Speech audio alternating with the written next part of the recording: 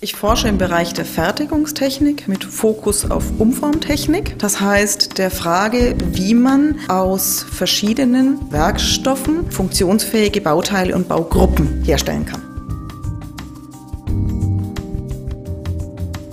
Umformprozess basiert auf der Fähigkeit eines Metalles zu plastifizieren. Das heißt, wenn Sie eine Kraft aufbringen, dann erfährt dieses Halbzeug, meinetwegen das Blech, eine bleibende Formänderung. Definitiv begeistert mich an Fertigungstechnik und Umformtechnik die Relevanz. Es ist aus meiner Sicht die älteste Technologie der Menschheit.